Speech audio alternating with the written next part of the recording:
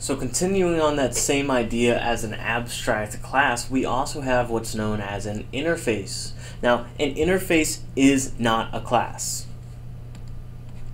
Not a class. But it is class like. Now, what does that even mean? Okay, well, interfaces are sort of more like, uh, you can think of it this way. A class, a class is like a noun.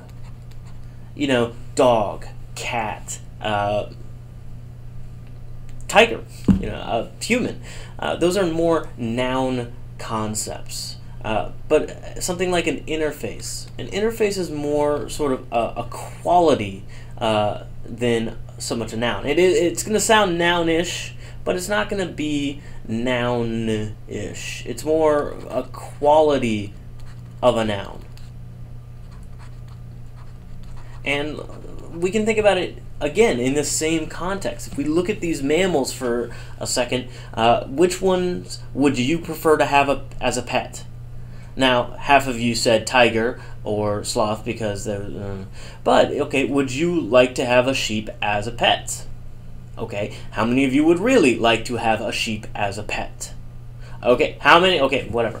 You can see that uh, really in kind of the real kind of life spectrum of things, you know, no, we don't keep humans as pets anymore. Slavery was abolished. Uh, no, I don't have a pet tiger. You're not going to go to the, you know, you're not going to go to PetSmart to get a tiger. No, I, I don't have pet sheep. I'm not on a farm. They're not really, those are more farm animals anyway. Uh, but okay, oh, all right. Uh, a cat, yeah, I would make a cat a pet. Uh, a monkey, eh, no, you know, a lot of litigations there. A dog, yes, I would make a dog.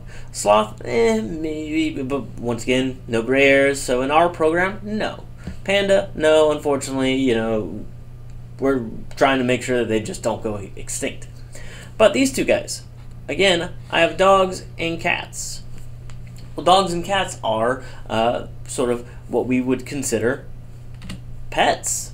And what does it mean to be a pet? Well, it means that we as humans can uh, pet the dog, pet the cat, and then train it. Give him tricks. You know, a dog can learn how to fetch. You can actually teach a cat how to fetch, uh, which is kind of cool. Uh, but these are things that I'm going to say in my program that are only qualities to sort of pets. So how do I start to flesh this out? Well, here's where things kind of differ a little bit. Notice first this normally what we've been writing every time we start a program is public class or abstract class dot dot dot whatever our class name is. We are not in a class. Again interfaces are not a class. They are class like what that means is that we are not going to make a class. We are actually going to be making an interface and when we make an interface, we give it, you know, an interface name. But the thing about interfaces is all the methods are public abstract. All of the class variables are public static final. So I can't change it. I can't uh, do anything about it. It's a, once again, you can think of it like uh, interfaces are like blueprints blueprints to these qualities. I know I can train someone, uh, but I don't know sort of how to train someone. Uh, is where we're kind of getting with that. Now, something to take note of with that is because inside of an interface, everything is a public static final and everything is a public abstract. What that means is I actually don't have to specify those words.